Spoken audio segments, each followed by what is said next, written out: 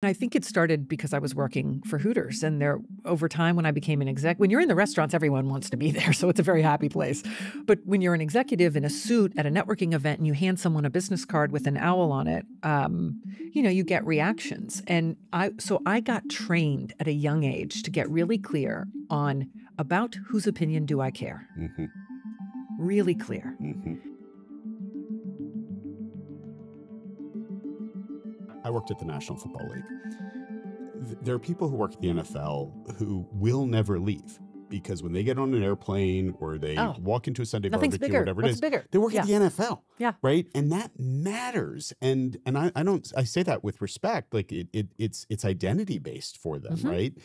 Um, and so that that saying like I'm moving on from a brand that has like nearly 100% name recognition and nearly 100% beloved Totally. to a brand that you know uh, someone's like, well, is that is that a movie company? Is that Focus Films? Like what what you know what what is that? What do you focus on? yeah, exactly. Right. Like so so being able to isolate what really matters for you personally and to to block out the noise of the other stuff that might matter to other people feels like a really important part of this. But I learned to ask myself that. Mhm. And so um, then I developed a framework that, again, I didn't know it was a framework at the time. It just is now. And Mhm. I've helped, I've sent it to many people to navigate big life moments. Let's hear it. So um, it is money, hmm ego and optics, hmm and capabilities. Mm.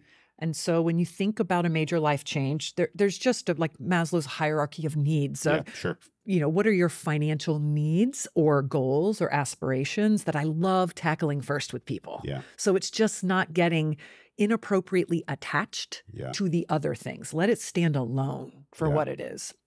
So, and this is true for investments. It's true for investing in a early stage business. It's true for investing in an initiative in a company, Yeah. and it's also true for career decisions. So, um, fi- you know, financial. Then next is ego and optics, what you're just hitting on. Mhm. About whose opinion opinion do I care? Yep. Where do I get my sense of self? So I would challenge people who would come to me and say, "I want a promotion," Mhm. um, or "I want to be a president." Okay, what if I told you I had a president role for you? Mhm. And you know, we, you play around with the other levers. It Mhm. it doesn't pay very much, but it's it's the job Yeah. or it it pays a ton and it's the job, but it's at a company that is definitely doing harm Yep. in the world. Yep. And so you really help people parse these things out. So financial, ego and optics. And ego and optics also includes things like do you need to lead a big team? Mhm. Do people do you need to lead a company that people know about? Is it important to you um, to make an impact on the world positively? And to what degree? And how do you define that? Yeah.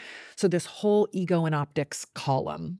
Uh, and then the third column has a part A, part B capabilities. So where can you shine and where can you learn? Um, what cap- what are you objectively good at that almost anyone who has worked with you would acknowledge? Yeah. And can you can you make an impact in this opportunity with those skills? Yeah. So basically, can what you've built be worth something? And then are you going to grow? Are you going to learn? Is there some, or are you just going to sit in that same place you've been? And I redo this every year. I just do a little reflection when I've considered opportunities, when people have come to me and said, I think I need a promotion. I, we literally walk Yeah. through this.